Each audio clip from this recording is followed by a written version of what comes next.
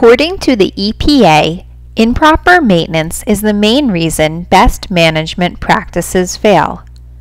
Filterra boxes are simple to maintain, and routine maintenance can work wonders for the lifespan of a Filterra.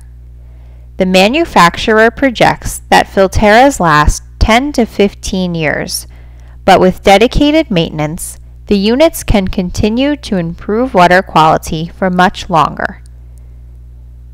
Filterras require maintenance twice a year, but during the first year, brief inspections should be conducted each month to determine the most appropriate frequency and timing of maintenance cycles. It is generally best to perform maintenance after snow melts in the spring and after leaves fall in the autumn, but this may change based on seasonal weather in a Filterra's location. During short monthly inspections, a town employee can simply walk by the Filterra and check for signs of irregular drainage, sediment or trash accumulation, or damage to the vegetation. The unit should also be inspected after heavy rainstorms, when sediment or large debris can clog the drain. Filterra provides complimentary maintenance for one year, and during that time, representatives are happy to train town employees or volunteers to conduct future maintenance on their own. Since maintenance is relatively quick and requires few tools, towns will likely find it most cost effective for their Department of Public Works to conduct maintenance. Biannual maintenance focuses on the mulch layer and the tree.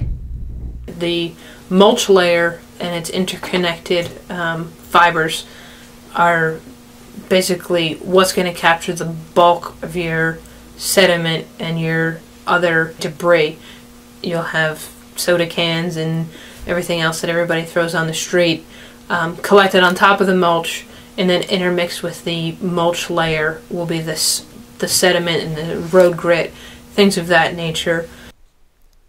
Once the protective grates are lifted, mulch is removed from the Filterra box with a shovel or with a hose attached to a vacuum truck.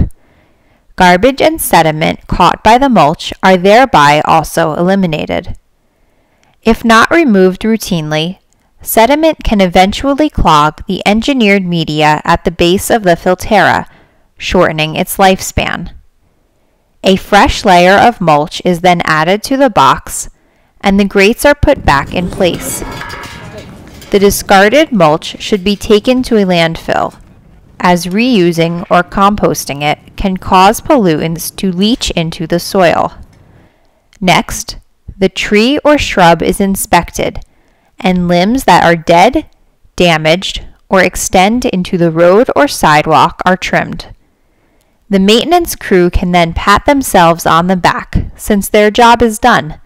That's all that's required to complete one cycle of maintenance. If a municipality suspects that its Filterra box is clogged, it can look for the following signs.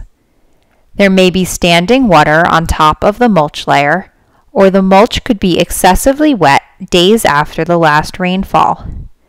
If water is flowing in the wrong direction, that is, out of the Filterra, mulch may be spread out on the pavement in front of the drain.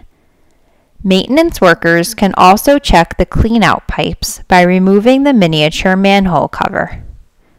If you look through the cleanout pipes, you know, if there's water um, standing in those, um, it may be a pipe that's clogged um, that should be able to be maintained um, with standard plumbing equipment if, if you do have a pipe clog. Plumbing equipment can normally be used to troubleshoot clogging issues, but a municipality is encouraged to call Filterra representatives if it continues to have difficulties.